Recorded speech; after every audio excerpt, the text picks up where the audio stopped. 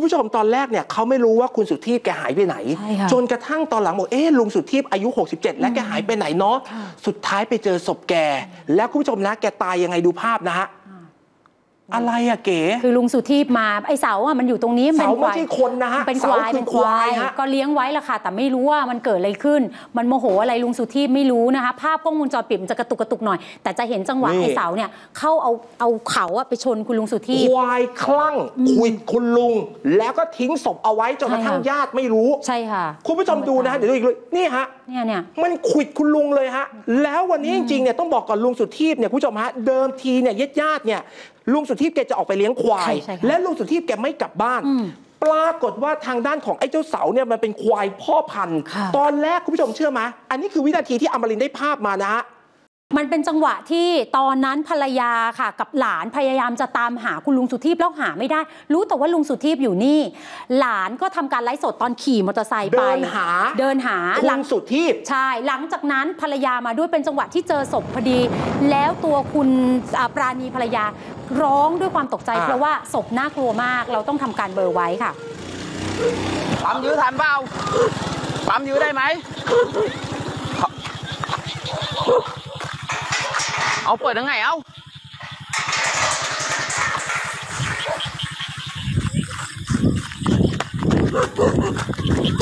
ปั๊มยื้อได้ไหมยังไงยังไง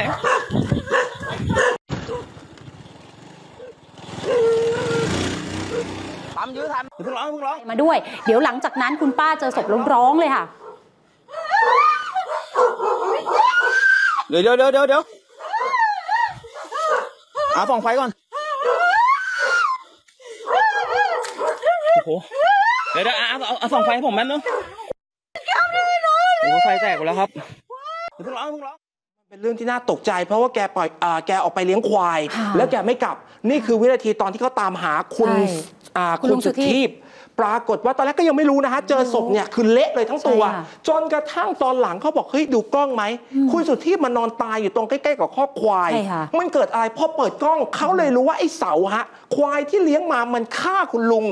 คุณผู้ชมแล้วนี่คือวงจรปิดที่อมรินทร์ได้มานะฮะค่ะคือถ้าญาติไม่เปิดกล้องก็นึกว่าลุงโดนฆาตกรรมใช่จนกระทั่งเนี่ยญาติเนี่ยกรีดร้องนะฮะ ก็คือเมีย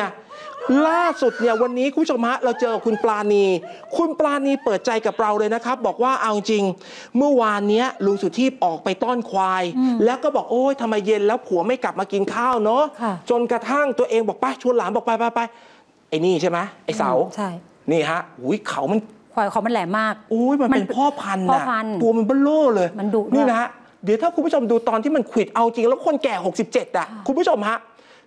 ชนทีเดียวก็ล้ม และที่เราต้องเบลอร์เนี่ยเพราะภาพมันรุนแรงแต่จริงคือมันเอาเขาเสยใช่ไหมจากวงจรปิดใช่ใช่มันเอาเขาเหมือนกระแทกซ้ำอืมปรากฏว่าเข้าใจว่าเสียบพุงคุณลุงค่ะนี่ฮะภรรยาก็เลยเปิดใจกับเราเนี่ยนะครับ บอกเออ ไม่กินข้าวสักทีพี่ไปไหน จนในที่สุดเจอคุณลุงนอนตายเขาก็ป้าก็หุงข้าว เขาก็เอาควายเข้าคอก อีนี่มันนานเขาก็ไม่มาสักทีป้าก็เลยเรียกเรียกก็ไม่มีเลยก็ขึ้นไปบ้านไปเอาไฟมาส่งเลยเขาก็นอนตายอยู่หน้าคอก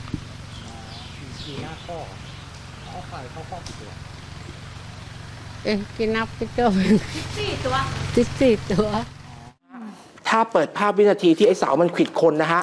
แล้วปรากฏว่าวันนี้ตำรวจทำอะไรฮะตำมามาตรวจหลักฐานอ่าๆตรวจหลัว่ากฐานใช่ควายจริงหรือเปล่าใช่ใช่ที่มันขวิดสุดท้ายเอาเปิดภาพไอ้เสาขึ้นมาฮะเอาตัวจริงขึ้นมาด้วยค่ะคุณผู้ชมสงสัยใช่ไหมจัดการยังไงกับไอ้เสาอืมล่าสุดนะฮะแกไม่ฆ่านะฮะค่ะแต่แกบอกว่าไอ้เสาดุมาก ขายทิ้งให้เสามันไปอยู่กับเจ้าของคนอื่น คุณผู้ชมเห็นตัวมันเบลเลอร์เนี่ยมันแค่ 3 ปีเองนะฮะค่ะสำหรับไอ้เจ้าเสาเนี่ยมันดุแล้วเนี่ยเลี้ยงไม่เชื่อง นี่ดูนะฮะ น่ารักใช่ไหมเอาไปไว้บ้านไหมไม่เอานี่ฮะกลัวเขาว่างมันๆก็ลองรูปมันเล่น ขนาดคนให้ย่ามันกินไส้ยังทะลัก